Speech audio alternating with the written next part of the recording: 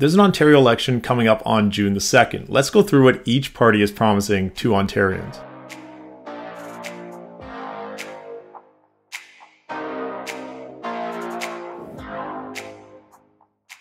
Hi, I'm Michael Ouzas from Michael Ouzas Real Estate, and I'm a realtor in the Greater Toronto Area. Today, I want to break down what each political party is promising for the upcoming election on June the 2nd. Housing and affordability in Canada, the promise of Ontario, and most notably the Greater Toronto Area has been at the forefront of discussion all year. Each political party has promised to make a plan and try to tackle some of these housing issues. This is not an exhaustive list for each party, but I still wanted to shed some light on some of the major housing topics in each party's promises. I also must mention that I have no bias to any of them, and there is no order in which they're being presented. Let's just go through each one one by one and want to hear comments on them down below. So the Ontario PC Party, their plan includes building 1.5 million new homes over the next 10 years.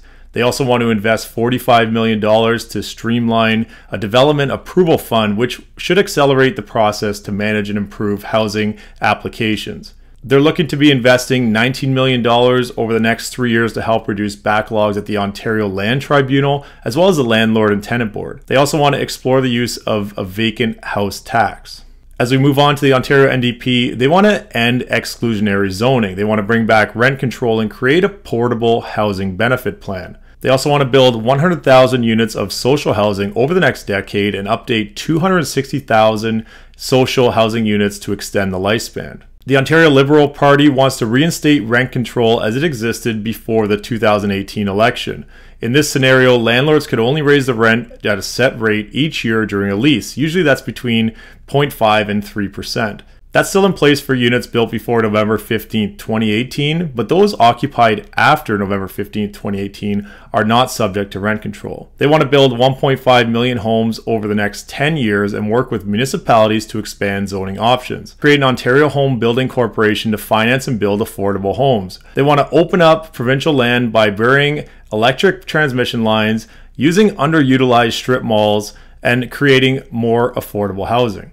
Liberals also want to add a new tax on vacant homes in urban areas for developers holding on to land. The Green Party of Ontario wants to build 182,000 permanently affordable community housing rental homes. They want to build 1.5 million homes within urban boundaries over the next 10 years. They want to mandate inclusionary zoning and require at least 20% of units to be affordable in all projects above a certain size allow single family dwellings to be converted into multiple condo units. They want to reinstate rent controls in all units and put into place a vacancy control, which would limit the increase in rent between tenancies.